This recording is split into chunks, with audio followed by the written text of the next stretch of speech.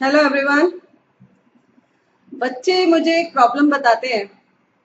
वो कहते हैं, मैम, जब हम पढ़ते हैं तो हम कंसंट्रेट नहीं कर पाते पढ़ते पढ़ते दिमाग कहीं और चला जाता है।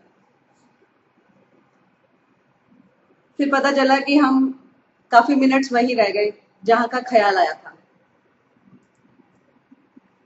कभी कभी व्हाट्सएप पे चला जाता है नज़र की कोई व्हाट्सएप आया तो बस वहीं पे ही शुरू हो जाते हैं। पंद्रह पंद्रह मिनट चले जाते हैं, पता ही नहीं चलता। कोई बच्चे बोले, नहीं मैम, मैं फ़ोन तो साइड पे कर देता हूँ। लेकिन फिर भी कुछ ना कुछ चलता रहता है, माइंड में। कोई स्टोरी चल जाती है, कभी घबराहट हो जाती है, कुछ हो जाता है। तो टाइम बहुत वेस्ट हो जाता है। तो दो घंटे बैठता हूँ, पता चला आधा घंटा पड़ा फोर्टी फाइव मिनट्स पड़ा, बस इतना ही। तो ऐसे बाद में लगा गिल्टी महसूस हुआ कि कितना टाइम वेस्ट कर दिया। तो पीछे मैंने वीडियोस में भी बोला था अपने कि मैं बताऊँगी कि कंसंट्रेट कैसे करना है। तो उसी पे मैं थोड़ा आपको टिप्स देना चाह रही हूँ। तीन टिप्स खास हैं अभी जो मेरे माइंड में चल रही हैं, जो मैं चाहती हूँ आपके साथ शेयर करूँ। पहली बात ये कि जब आप पढ़ाई करने के लिए बैठ रहे हैं you are setting to study you take only one subject at one time एक सब्जेक्ट को एक टाइम पे लीजिए। बोले हाँ मैम, वो तो ऑब्वियस बात है, एक ही सब्जेक्ट हम पढ़ेंगे। तो ध्यान से सुनिए, मैं क्या कहना चाहती हूँ। आप सपोज़ अकाउंट्स पढ़ रहे हैं, है ना? कोई भी सब्जेक्ट है आपके कोर्स कोई भी कर रहे हैं, कोई भी सब्जेक्ट पढ़ रहे हैं सब्जेक्ट ए आप लेके बैठे हैं तो आपके टेबल पे या जिधर भी आप बैठे हैं, जिस भी तरीके से आपके कंफर्टेबल जोन में आप हैं, पढ़ाई वाले एरिया में, वहाँ पे आपकी टेबल पे या आपके आसपास कोई और सब्जेक्ट की बुक नहीं होनी चाहिए। कोई भी और सब्जेक्ट की बुक या नोटबुक या कोई भी स्टडी मटेरियल नहीं होना चाहिए। उसको आप कपट में रख दीजिए दूसरी जगह पे रख दीजिए, अपने से दूर रख दीजिए। जैसे भी आपके पास, आपका सिस्टम है। उससे क्या होगा, आपको पढ़ाई के दौरान एटलीस्ट घबराहट नहीं होगी, दूसरे सब्जेक्ट्स दिमाग में नहीं आएँगे। आपको सिर्फ़ वो सब्जेक्ट दिखेगा तो आप उसी पे कंसंट्रेट करेंगे। ये था पहला टिप दूसरा टिप है, आपके सोशल मीडिया से आप दूर रहिए। आप ऑर्गेनाइज मैनर में पढ़ते हैं, आप प्लान बना के पढ़ते हैं तो आपको मालूम है आप एक घंटा पढ़ने जा रहे हैं या दो घंटा पढ़ने जा रहे हैं, या एट अ स्ट्रेच एक घंटा, फिर दस मिनट का ब्रेक फिर एक घंटा, ऐसे पढ़ना चाह रहे हैं। मे बी आपका अपना अपना स्टाइल हर किसी का अपना पैटर्न होता है पढ़ाई करने का। तो उसमें आप क्या करिए कि जो आपका सेल फ़ोन है, उसको अपने से दूर कर दीजिए। मम्मा को तो नहीं देंगे, मुझे भी मालूम है। तो अपनी कबर्ड में पीछे की तरफ़ रख दीजिए। उसको साइलेंट मोड पे डाल दीजिए। ऑफ़ तो आप नहीं करेंगे मुझे मालूम है। आज का इतना अजीब सा जहाँ है तो उसमें ऑफ़ करने का समझ में भी नहीं आएगा आपको। सब इतने वेल कनेक्टेड रहते हैं तो मालूम चलता रहना चाहिए सब क्या हो रहा है ये भी एक पॉइंट है। तो इसलिए अगर आप ऑफ़ नहीं करते हैं इट्स ओके okay, तो आप उसको साइलेंट मोड पे डाल के ऐसी जगह पे रखिए जिसपे वो आपको नज़र ना आए और उसकी वाइब्रेशन तक सुनाई ना दे। आपकी जो वार्डरोब है, उसमें पीछे की तरफ़ रख दीजिए, जिससे आपको ये भी स्ट्रेस ना रहे कि मेरा फ़ोन कोई उठाएगा, अगर आपको इस तरह का स्ट्रेस होता है। क्योंकि आपकी पढ़ाई के दौरान आपको कोई स्ट्रेस नहीं होना चाहिए। तो अपनी चीज़ को कहीं दूर रख दीजिए अपने से, और किसी और की भी नज़र ना पड़े, ऐसी जगह पे रख दीजिए जिससे आपका स्ट्रेस ज़ीरो हो जाए। फिर बोले, मैम पासवर्ड प्रोटेक्टेड है। वो सब आप देखिए। अब आप पासवर्ड प्रोटेक्टेड रखते हैं या आपको किसी के देखने से कोई स्ट्रेस नहीं होता है, वो फिर आपके अपने हिसाब से है ना। मैं तो जो बच्चों की स्टोरी सुनती हूँ, उसके हिसाब से मैं आपको बता रही हूँ। ये था दूसरा टिप कि थोड़ा सा कंसंट्रेट करने के लिए बहुत ज़रूरी है कि हम स्टोरीज में ना जाए। स्टोरीज में कब जाते हैं? जब हम व्हाट्सएप पे चले जाते हैं या फेसबुक या ट्विटर या whatever so many systems are there these days तो आप हर चीज़ से दूर रहिए, पढ़ाई के दौरान। तो दूर रहने से स्टोरी से दूर रहे। स्टोरी से दूर रहे तो माइंड फालतू की जगह पे नहीं गया। तो फिर कॉन्सेंट्रेट किया, क्योंकि कुछ है ही नहीं है आसपास तो सिर्फ़ पढ़ाई करूँगा। अब तीसरी बात, एक जो बच्चा ये बोलता है, मैम, फिर मैं अंदर ही अंदर दिमाग में कहीं चले जाता हूँ। कोई ना कोई स्टोरी आ जाती है, कुछ ना कुछ चलना शुरू हो जाता है। खो जाता हूँ ख्यालों में। कोई कोई बच्चे बड़े इमेजिनेटिव होते हैं। जो एक क्रिएटिविटी का इंडिकेटर है। तो ये गुड पॉइंट है। लेकिन अभी उनकी पढ़ाई में वो प्रॉब्लम क्रिएटर है। तो उससे फिर कैसे बचा जाए? उसका एक सिंपल सा तरीका है, जो मेरी थर्ड टिप है, उसको सुनिएगा अच्छा लगेगा आपको।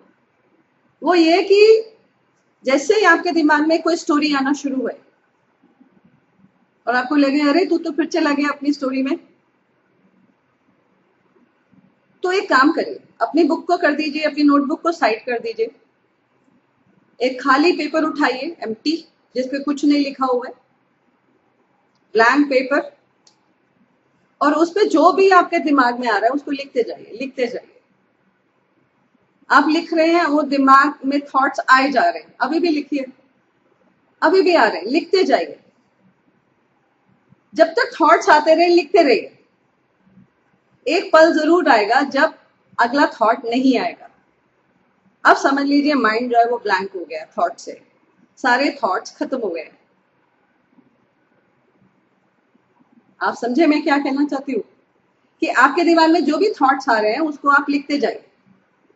किसी की स्टोरी है, आपकी स्टोरी है, आपकी इमेजिनेशन है, आपकी क्रिएटिविटी आपके फैमिली की बात है, कोई आपके फ्रेंड की बात है, जो भी जो भी चल रहा है माइंड में। कुछ गलत या कुछ सही नहीं होता, बस चल रहा है। तो उसको लिखते जाइए लिखते जाइए। लिख लिया? अब आप उस पेपर के सौ टुकड़े करिए। या उसको माचिस की तीली लगा दीजिए। या उसको अपने ऐसी जगह पे डिस्पोज ऑफ़ करिए, जिससे किसी की, किसी को पता ना चले आप उसमें क्या लिखे हैं। क्योंकि वो आपकी चीज़ थी, जो आपको किसी के साथ शेयर नहीं करनी चाहिए। और फिर क्यों करें आप?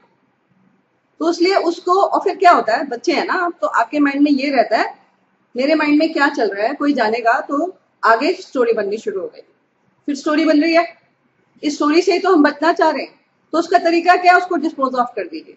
और डिस्पोज ऑफ़ ऐसे करिए कि जिससे किसी को उस कागज़ को पढ़ने का मौका ना मिले। तो उसके छोटे छोटे टुकड़े करके आप डस्टबिन में डालिए, या उसको बाहर डिस्कार्ड करिए, या उसको जला दीजिए। मतलब उस, उसकी जो एग्जिस्टेंस है वो खत्म कर दीजिए कागज़ के तो उससे आपका ये स्ट्रेस ज़ीरो हो जाएगा कि कोई मेरे थॉट्स पढ़ लेगा। चाहे वो अच्छे थॉट्स थे, लेकिन आप शेयर नहीं करना चाहते किसी के साथ। ओके फाइन वो आपकी प्रॉपर्टी है और आप उसे डिस्पोज ऑफ़ इसलिए कर दीजिए ताकि आपका ये स्ट्रेस खत्म हो जाए कि कोई मेरे थॉट्स जाने का, अब उसके ऊपर काम ना शुरू हो जाए आपके माइंड में। बड़ी कामयाब टेक्निक है। बड़े स्टूडेंट्स के साथ मैंने शेयर करी है। उनके एक्सपीरियंसेस भी सुने हैं, बड़ी अच्छा उनको रिज़ल्ट मिला है। आप भी ट्राई करिए, इससे बहुत अच्छा लगेगा आपको। तो अगर आप ये तीन टिप्स आजमाते हैं, पहली, एक सब्जेक्ट वन टाइम पे, दूसरी, अपना सेल फ़ोन छुपा दीजिए। ये सब सिर्फ़, आप देख रहे हैं, सारी स्कीम्स के पीछे एक ही लॉजिक है स्टोरी नहीं बननी चाहिए। आपके ब्रेन में कोई और स्टोरी नहीं बननी चाहिए। आपकी, अब अब एक बात और भी आती है स्टोरी को आगे बढ़ाऊं तो वो ये कि मान लीजिए आपने लिख लिया और फिर आप वापस पढ़ाई पे आ गए तो आपने देखा, अरे हाँ अब तो मैं कॉन्सेंट्रेट कर पा रहा हूँ। क्योंकि माइंड में कोई थॉट ही नहीं है ना माइंड तो ब्लैंक हो गया। अब मान लीजिए थोड़ी देर में, फिर कोई स्टोरी शुरू हो गई, क्योंकि you are too imaginative you are a great thinker और वॉट एवर आप बार बार बार बार कहीं और चले जाते हो डिस्ट्रैक्शन डिस्ट्रैक्शन हो जाता है आपका, है ना? कुछ भी हो जाता है। आपको तो आप वापस चले जाते हो, कोई बात नहीं। आप फिर वही काम करो। आप बुक को हटा दो ये बाकी काफ़ी लंबे समय बाद होगा, दोबारा जब होगा तो एक अच्छा लंबा समय मिल जाएगा जिसमें आप मज़े से पढ़ाई कर पाओगे। और फिर जब होए तो आप अपनी थॉट्स लिखते जाओ। अगेन द सेम प्रोसेस तो आप धीरे धीरे गौर करोगे, ये प्रोसेस भी आपकी कम होती जा रही है।